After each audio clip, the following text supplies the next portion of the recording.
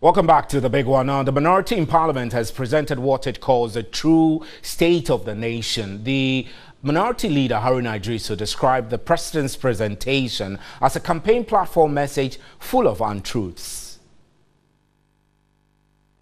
Of you who listened to the president would have been wondering whether you're still on a party platform campaigning for vote or he was now the elected president of the republic who was speaking as the head of state of the republic of uh, ghana. But we are not surprised and we were not perturbed because he himself said that ghanaians should anticipate tough measures to end their many sufferings that they promised in the NPP uh, manifesto. Many of you who heard him again indicated that he there is no fiscal space. Yet he did not provide an opportunity and an explanation to the Ghanaian people how he intends to find the fiscal space. It is also to be noted that many other sectors of the economy were left out. Even Bimbilla. there was no comment on it, even as it poses a major threat to our national peace and uh, security and what he is seeking to do as president of the republic. It's also important that I state that it is not enough for the president of the republic just to come to parliament and his is to condemn the continuous intimidation, harassment of public servants. Therefore, let me say here and now that President Akufo-Addo's stance on this act of lawlessness is most disappointing, especially as he touts himself as a champion of human rights and someone who upholds fundamental freedoms. We note the total absence of any acknowledgement of positives that the new administration may have taken over, including a few examples. Ali, we are aware that he has not introduced any tax instrument in the Republic but he managed to get 30 million dollars to pay the armed forces.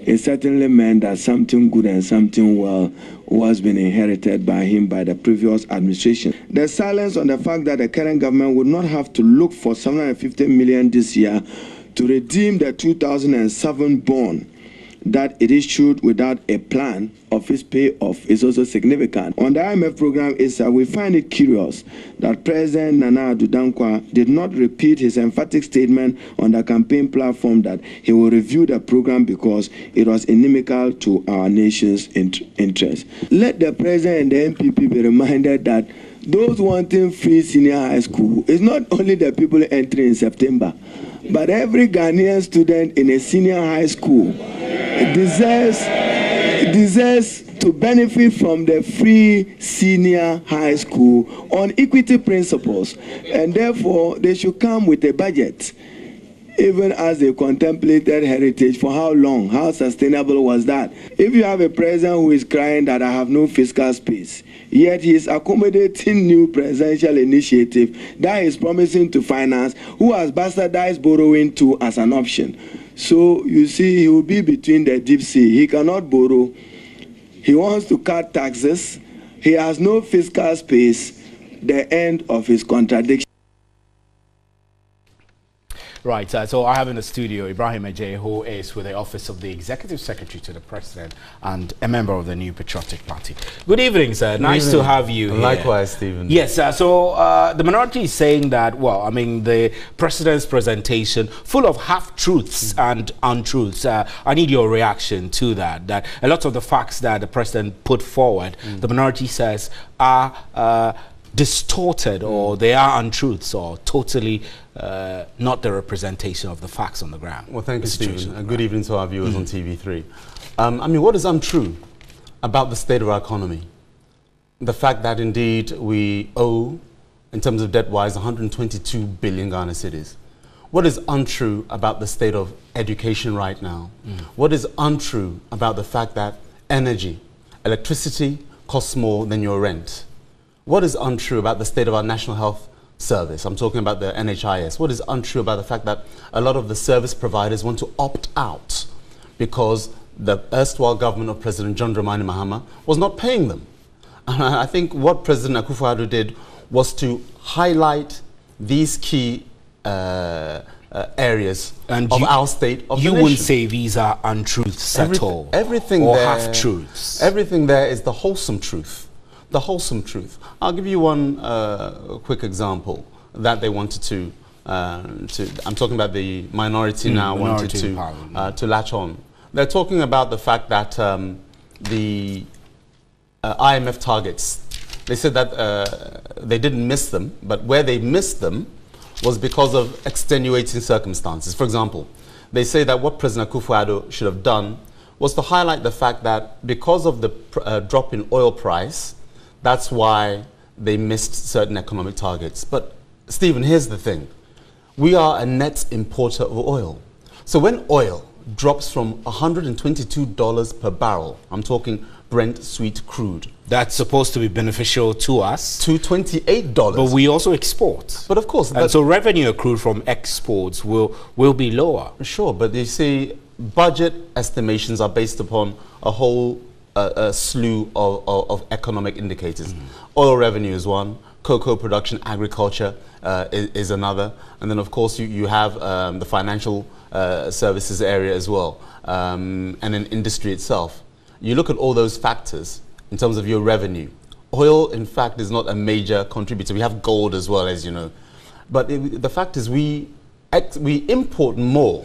And look at the quantum from $122 a barrel to at one point in October 2015, leading to uh, 2016, $28 a barrel. That was a, a huge financial gain for us, which means we don't spend so much money importing oil because now the price has dropped giving us that fiscal space. So how do you then continue to miss the budgets? I'm talking about the IMF. Mm -hmm. And what President Akufo-Addo did was explain it very succinctly to the point so that everybody understood. And you don't think that in explaining, he possibly may have put himself in that quote unquote campaign mode? That's what the minority is saying. You don't see it that way? No, there's no campaign mode. I mean, President Akufo-Addo made the point that he wasn't elected to complain, mm. but to actually fix the problems and he highlighted certain interventions to actually bring Ghana back on track. In order to transform our economy, we have to transform our human resource base, which means education. For, I mean, the NDC said it wasn't possible, free SHS, not for 20 years. They somehow backtracked, 180 degree turn, and their intervention, what they called free, was a 37 Ghana cedi subvention. I mean, that's the, the price of your trotro from your home to the school. that's that's the uh, imp, the in, intervention of free SHS under President John Dramani Mahama, the former president. What President Akufo-Addo has done has highlighted. We've costed it about 1.6 million to 1.7 million Ghanaian students who will now enter the 2017-2018 academic year at a cost of around 3.6 billion Ghana cedis. It's being costed for. And so you know that we're on the path to actually transforming our economy through the key or the basic factor, which is our education and the next generation of Ghanaians. So these are the interventions that will help to transform our economy and make us the most business friendly, people friendly economy within Africa. And it's, it's, it's, it's, an economy that is inclusive. When you look at what President Akufo-Addo mentioned within the State of the Nation address, talking about the one district, one factory, what that does, in fact, it's across. We have 216 factories, and they're not all 216 districts, sorry, and all the districts are not located in Accra, uh, Greater Accra. Greater Accra has something in the region around, I think, 16 or so districts, Greater Accra. And so you're looking at the whole nation being uh, given a, a, a, an economic injection, if you will, that will create that economic space and vitality. And when everybody uh, is in gainful employment, you'll see how the economy will expand and then you, uh, you, you, the, the dividends that will come from it uh, in terms of that expansion. But while, while, while, saying that, let's go back to some of the concerns the NDC raised in this uh, press conference, which is the key uh, reasons we're here. Uh, they say that the president did not make reference to some of their government's good work. Mm. Uh, for example, the Takoradi to Paga railway line, mm. they say, was uh, a project that was initiated under the previous government. Is this not a concern that even if it was the NPP, I'm sure you would raise uh, questions about why they they take a, a, something you've started and you don't give credit to, to it. I, I, I mean, for example, the Pokuase interchange construction is to be started this year, uh, September, and we're mm. told that the $95 million or so uh, contract has been awarded. Now, mm. this was done in the previous government, but no mention uh, has been made anywhere of well, uh, the role played by the previous well, government. With all due respect, um, I think what President Akufo-Addo did, he highlighted indeed President Mahama's role in the transition and he said that his uh, demeanor was a, a, credit to our nation.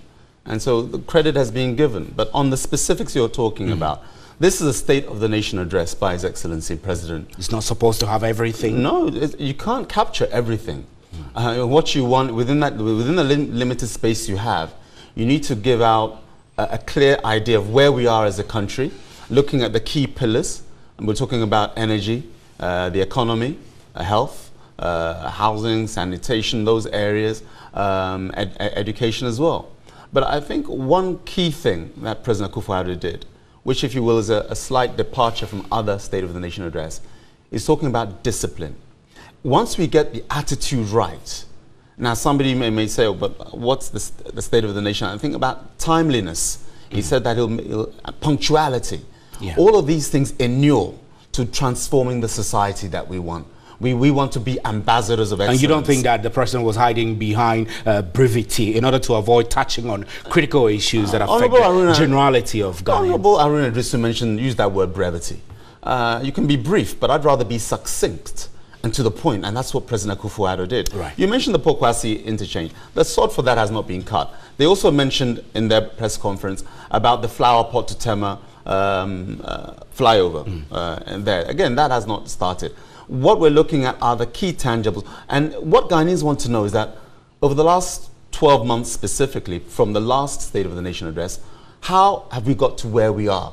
That's what concerns Ghana. Right. And having outlined that, President Akufo-Addo went on to explain his vision about how we're going to get where we need where to be. We need to go. As Ibrahim Adjei, I'm afraid that we don't have a lot of time, but we're grateful that you passed through, and I'm sure that we have a lot more uh, time on our hands some other day to uh, expand on some of these issues. Uh, thanks very much for coming. Uh, this is still News at 10, and we're live from the News Hub. You can also follow us on our Facebook page. We're streaming live also at 3news.com.